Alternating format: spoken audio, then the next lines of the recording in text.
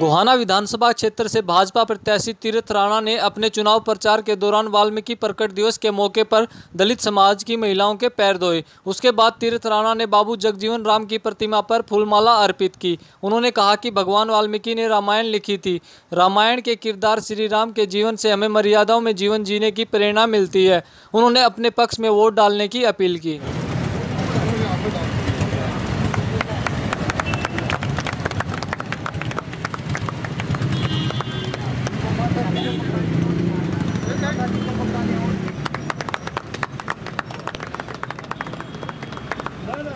तैयारियाँ चल रही हैं और आज क्या क्या है? हाँ सबसे पहले तो मैं भगवान महर्षि वाल्मीकि जी की जयंती की सभी को हार्दिक शुभकामनाएँ बधाइयाँ देता हूँ। इसकी शुरुआत हमने गाँव से भंडारा और पहले खानपुर गाँव में आवन किया था, फिर भंडारा कासंडी और कई गाँव से होते हुए आज यहाँ जगजी, बाबू जगजीवन जा राम चौक पे मेरी माताओं और मेरे पिताओं मतलब बुज़ुर्गों का पैर मैंने धो के उनके और उन माला अर्पण करके उनका आशीर्वाद लिया है।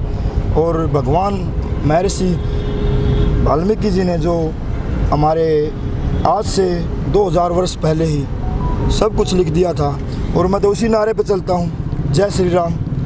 जय श्री राम का नारा भी वहीं से उत्पन्न हुआ था। सर जिस तरह से आशीर्वाद ले रहे हैं क्या उम्मीद है? वोटों में तब्दील कर पाएँगे ये वोट की राजनीति नहीं है बस ये हमारे संस्कारों की बात है। सर संस्कारों की तो है चुनाव का दौर चल चुनाव का- उम्मीद- तो उम्मीद पूरी है उम्मीद सौ परसेंट गोवाना विधानसभा जीत के जाएँगे और बहुत बड़े मार्जिन से जीत के जाएँगे ये विश्वास। है कल मुख्यमंत्री जी यहाँ गोवाना में आए सर कितना प्रभाव रहेगा?